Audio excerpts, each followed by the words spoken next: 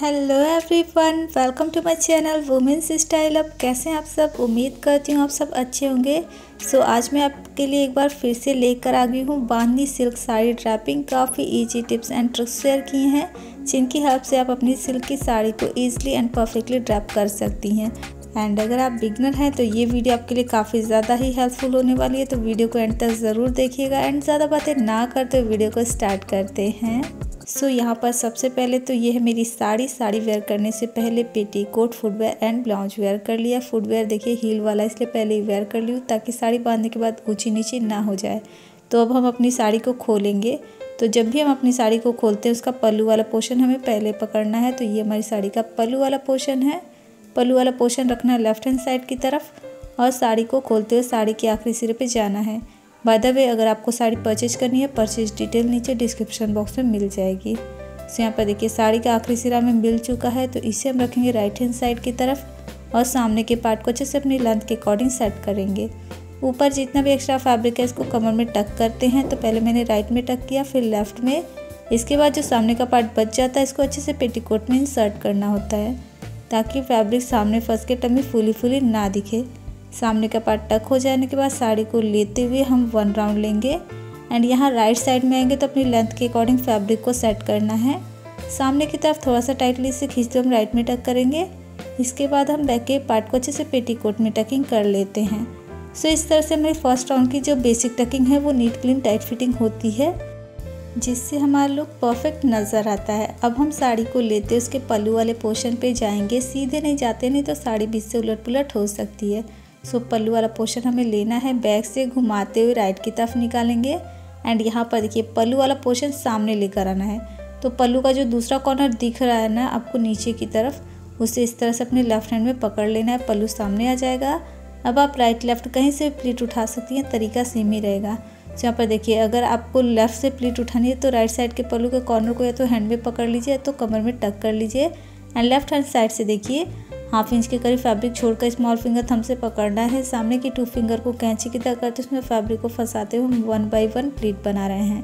यहाँ पर आपको ध्यान रखना है कि आखिरी जो प्लीट होती है ना, जो अंदर की तरफ़ होती है, उसका डायरेक्शन कभी भी राइट की तरफ़ होना चाहिए। हल्की सी चौड़ी है तो इसे मैं चौड़ी ही रखूँगी।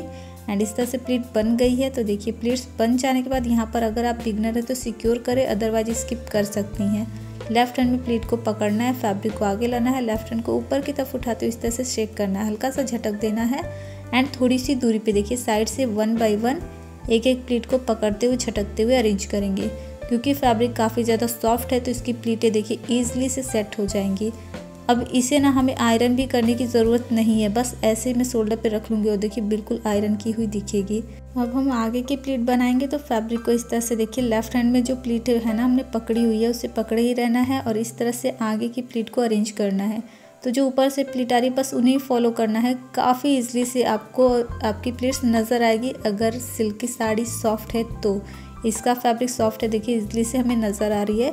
इतना पोर्शन अगेन हमने अरेंज किया है लेफ़्ट वाले शोल्डर पे रखते पल्लू की लेंथ हम देख लेंगे। यहाँ पर देखिए मैं घुटने से नीचे रखी हूँ, पल्लू हमारा बन चुका है बट हम सामने की तरफ़ भी ना थोड़ी सी दूरी तक प्लीट को सेट कर लेते हैं, ताकि सेफ्टी पिन लगाने के बाद हमें पल्लू को सामने की तरफ़ सेट करने में प्रॉब्लम ना आए। इसलिए पहले इस तरह से सेट कर लेंगे, सामने की तरफ़ भी एंड इसके बाद सेफ्टी पिन लेनी है एंड ब्लाउज के शोल्डर में पल्लू को सिक्योर करना है।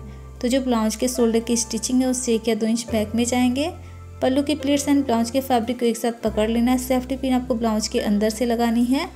तो इस तरह से अगर आप पल्लू को सिक्योर करेंगी, आपका पल्लू सामने की तरफ़ बार बार नहीं गिरेगा, अच्छे से शोल्डर पे सेट रहेगा।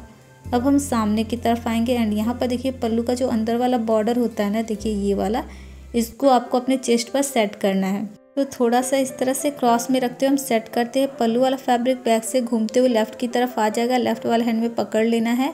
एंड जो शोल्डर की प्लीटें आ रही हैं ना, इन्हें वन बाय वन अरेंज करना है, क्योंकि कई बार क्या होता है, कोई प्लीट्स छूट जाती है, फिर दब जाती है तो पहले ही हमारी ठीक हो जाती है। एंड यहाँ पर देखिए, प्लीट्स बन जाने के बाद हिप पे जो पोर्शन आ रहा है, इसे इस तरह से सेट करते हुए राइट वाले पैर तक लेकर जाना है, इस तरह से।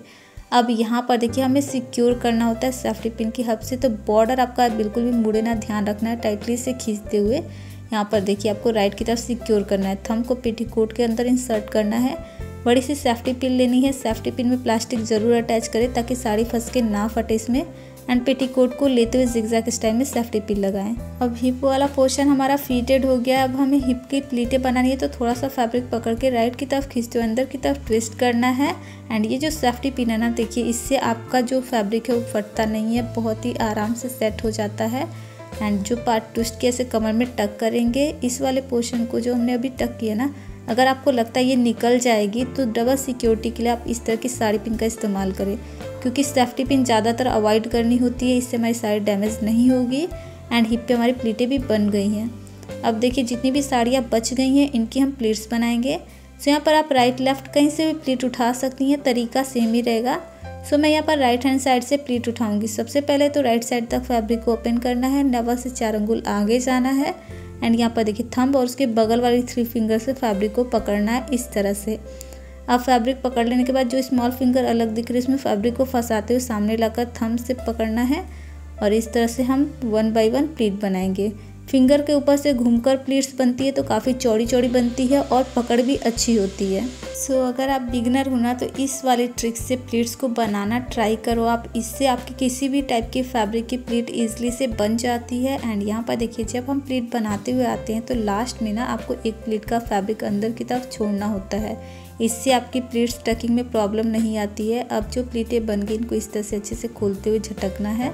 एंड यहाँ पर देखिए, प्लेट्स थोड़ी सी बिखरी बिखरी है तो बस इन्हें हल्का सा इस तरह से अरेंज करते हुए, झटकते हुए सेट कर लेना है। इन्हें प्रेस करने की ज़रूरत नहीं पड़ती है, बस आप इस तरह से झटक दोगे और ये खुद ब खुद सेट हो जाती है। अब ऊपर साइड से हम अरेंज करेंगे, बॉर्डर से बॉर्डर मिलाते हुए, साथ में हाफ़ हाफ़ सेंटीमीटर का गैपिंग रखते हुए।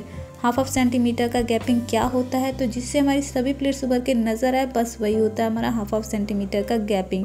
ये आपको साइड से और ऊपर से दोनों तरफ़ से देना है ताकि नीचे से अनइवन फॉल साइड भी ना रहे।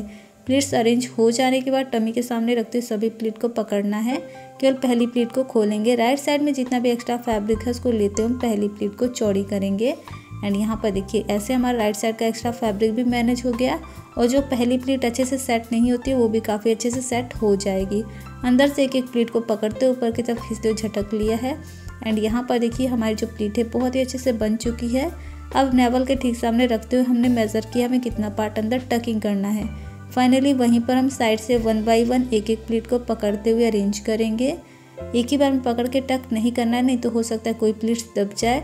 एंड नेवल के ठीक सामने रखते हुए इन प्लेट को हम पेटीकोट में टक करेंगे। टक करते वक्त सामने की प्लेट को तब तक ना छोड़े जब तक कि फैब्रिक अंदर तक ना चली जाए। थोड़ा सा मैं शेक करती हूँ ताकि फैब्रिक अंदर तक चली जाए। एंड यहाँ पर हमारी प्लेट अच्छे से टक हो गई है। अब आप देखेंगी तो राइट साइड की तरफ़ थोड़ा बहुत पार्ट ओपन रह जाता है तो इसको हम यहीं पर टक करेंगे। सामने की प्लेट को दबाए रखेगा ताकि वो इधर उधर ना हो। एंड राइट साइड का ये पार्ट आपका पल्लू से कवर हो जाएगा। पल्लू की प्लीट्स को अच्छे से ठीक कर लेना है। एंड अगर आपको साड़ी काफ़ी लॉन्ग टाइम के लिए वेयर करना, आप नहीं चाहते आपकी प्लीट्स इधर उधर हो तो सामने की प्लीट को एक बार अच्छे से अरेंज कर ले इस तरह से। एंड सेफ्टी पिन या फिर साड़ी पिन के इस्तेमाल से सिक्योर करें। अब यहाँ पर मैं साड़ी पिन का इस्तेमाल कर रही हूँ। जैसा कि मैंने पहले ही बताया, ये साड़ी पिन साड़ी को डैमेज नहीं करती है। तो प्लीट्स हमारी सिक्योर हो गई है। एंड अब देखिए, हमारा जो फाइनल लुक है ना कंप्लीट हो गया है। सो इस तरह से आप इजीली एंड परफेक्टली अपनी सिल्क की साड़ी को ड्रैप कर सकती हैं। उम्मीद करती हूँ कि वीडियो आपके लिए हेल्पफुल रही होगी। अगर हेल्पफुल रही तो वीडियो को लाइक ज़रूर कीजिएगा। इसी तरह के और वीडियो देखने के लिए हमारे चैनल को सब्सक्राइब करना ना भूलिएगा। साथ में बेल आइकन ज़रूर प्रेस कीजिएगा, ताकि आने वाले वीडियो की नोटिफिकेशन आपको मिलती रहे। कोई भी रिक्वेस्टेड वीडियो या सुझाव कमेंट बॉक्स में टाइप कर दीजिएगा। सो मैं मिलती हूँ आपसे अपनी अगली वीडियो में, तब तक के लिए keep smiling take care bye